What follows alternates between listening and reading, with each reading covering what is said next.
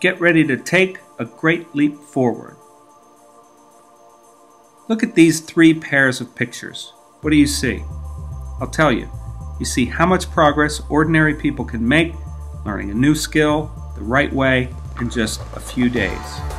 These artists made these vast improvements in Betty Edwards' course, Drawing on the Right Side of the Brain. How long did it take? A month? Just five days. Which raises a question Do we really need years of elite education to learn the skills we need for life? Increasingly, experts on learning say that if you're really ready to learn and have access to a coherent program, you can do it all in just a fraction of the time that we're used to teaching. Two companies, Hooked on Phonics and Rosetta Stone, show how you can teach anyone skills like reading and foreign languages. If, that is, you know how to tap into the incredible power of the brain. Hi, I'm Charlie Euchner, the creator of the Writing Code. To teach writing at Yale and seven other colleges and universities, and clients in business, nonprofits, and publishing, I've developed a powerful system that taps the brain's amazing power. The writing code starts with storytelling. First, because everyone loves telling and hearing great stories, but also because storytelling is part of our DNA. Truman Capote once said that literature, stories, is really just a form of gossip.